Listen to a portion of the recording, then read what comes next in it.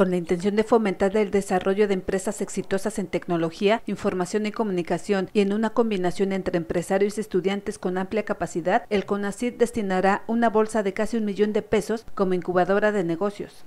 Es un modelo que se está apoyando a través del Consejo Nacional de Ciencia y Tecnología y se está monitoreando en cinco estados de la República. Están incluidos Tamaulipas, Veracruz, Tabasco, Campeche, Quintana Roo y Yucatán, que fue donde iniciamos el programa.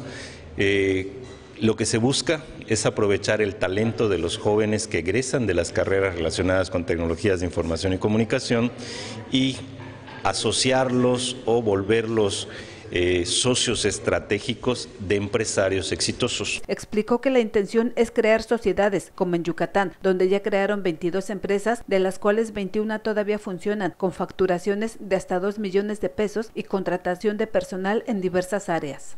El programa precisamente consiste en que el emprendedor recibe una beca de 7 mil pesos al mes durante 10 meses.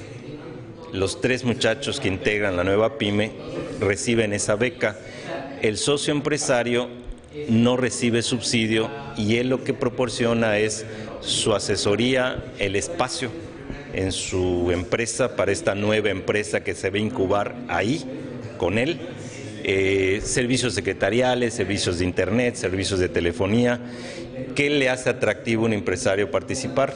Si la empresa crece, si la empresa genera ganancias, pues él es socio de esa nueva empresa. Indicó que hay una matrícula en Cancún de unos 700 estudiantes que salen cada año, quienes podrían participar. Agregó que un año es más que suficiente para que las empresas brinden resultados. Con imágenes de Giovanni Tamayo para Notivisión, Patricia Vázquez.